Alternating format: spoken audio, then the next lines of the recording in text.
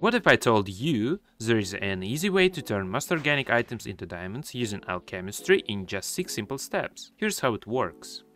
Put seeds into a dissolver to get cellulose. Use a compactor to make logs, or farm logs however you prefer. Smelt logs into charcoal. Smelt the charcoal to produce graphite ingots.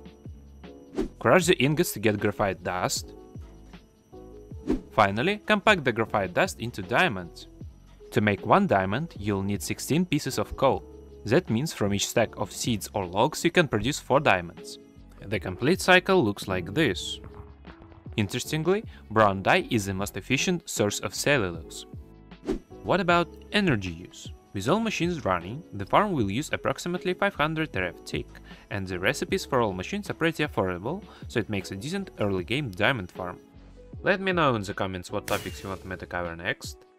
See you!